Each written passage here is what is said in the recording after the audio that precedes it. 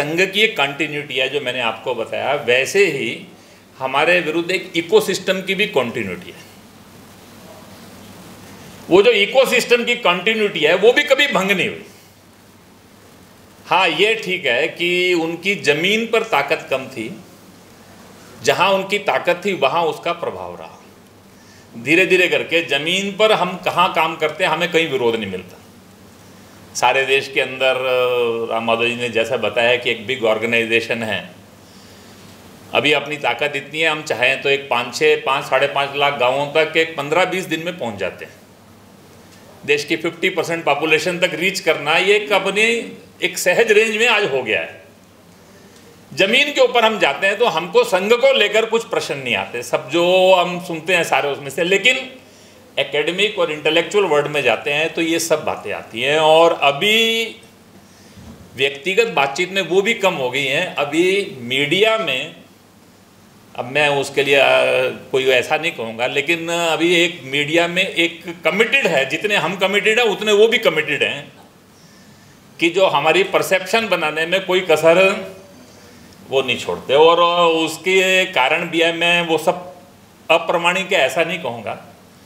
उन तक शायद हमारी पहुँच कम हुई होगी। हम यही मानते हैं कि जो लोग हमारे बारे में ठीक नहीं लिख पा रहे, उसका कारण वो नहीं है इसका कारण यह है कि शायद हम उन तक आज तक पहुँच नहीं सके। Italian fascism Hindu Taliban Hindu supremacist ऐसे ऐसे शब्दों का प्रयोग कभी कभी हम लोग सुनते हैं, जिन शब्दों के बारे में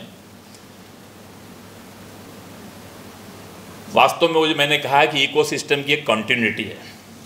संघ के ऊपर मैंने एक बार देख रहा था कि पहली रिसर्च बुक कौन सी आई?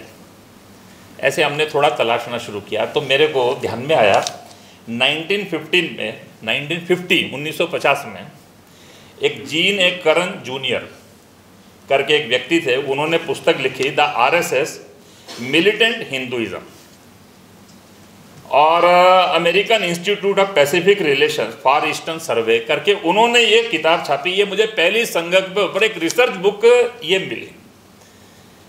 इस संघ कितना बड़ा था? 1950 के अंदर संघ की तो प्रतिबंध के बाद ताकत भी नहीं थी। अभी तो हम अपने को संभाल ही रहे थे, हमारे पे रिसर्च शुरू हो गए। और उन्होंने 1951 में फिर पुस्तक लिखी। उसका प्रकाशन हुआ फिर दोबारा से। वो पुस्तक के रूप में आई। वो तो रिसर्च था। और वो पुस्तक था militant Hinduism in Indian politics a study of RSS अभी जनसंघ भी शुरू नहीं हुआ था।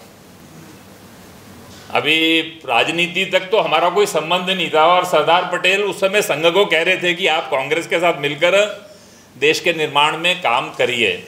उस कालखंड में हमारे बारे में एक रिसर्च के आधार के ऊपर एक पुस्तक छपी militant Hinduism in Indian politics और क्रिस्टोफर जेफरलेट जैसे लोगों की तो अपार कृपा हमारे पर रही।